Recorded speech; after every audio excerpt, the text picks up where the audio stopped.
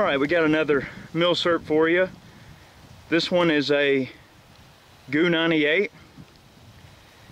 One of the easiest ways that you can tell a Gew 98 is of course by the hardware. It's got the old style stacking swivel on the front barrel band.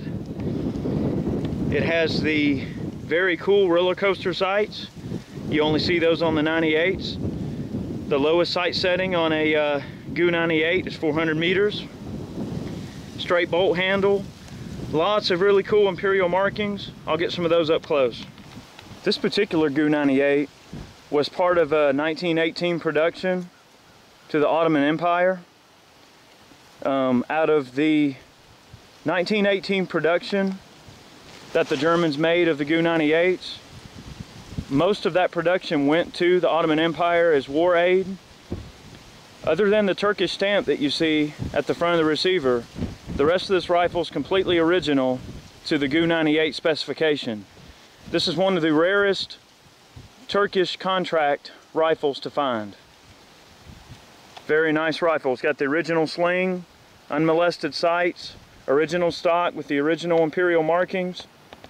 Let's shoot it.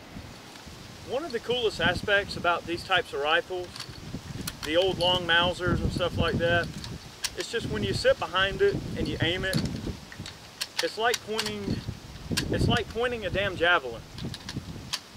You know, just a long rifle, long sight radius. Let's check it out. A few preliminary groups are very pleasing.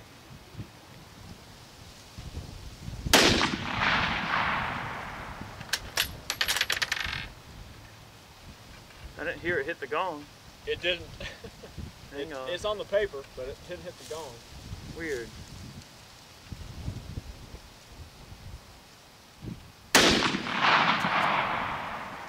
Shooting high, isn't it? Yeah. Is it on the paper though? Uh, barely. All right.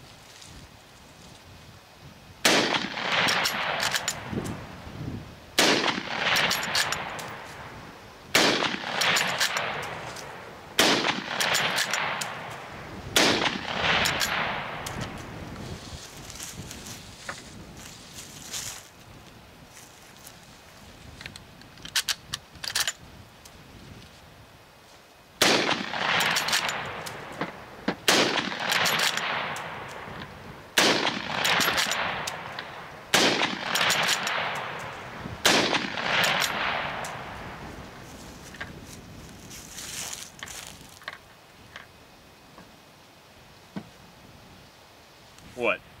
Tell us about the group. It's a pretty damn impressive group. Oh, let's look. Let's look. Look at that, people.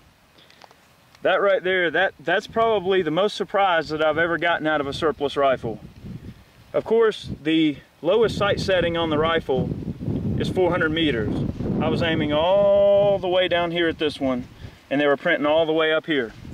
I pulled one shot low that hit like dead center in the bullseye. It could not be more center.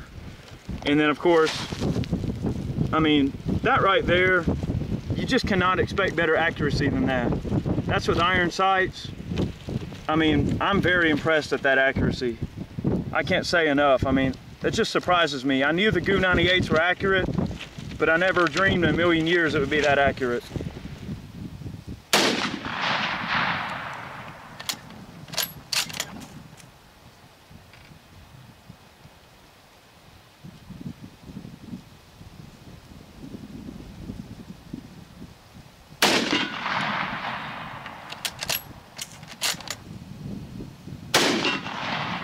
Oh, yeah.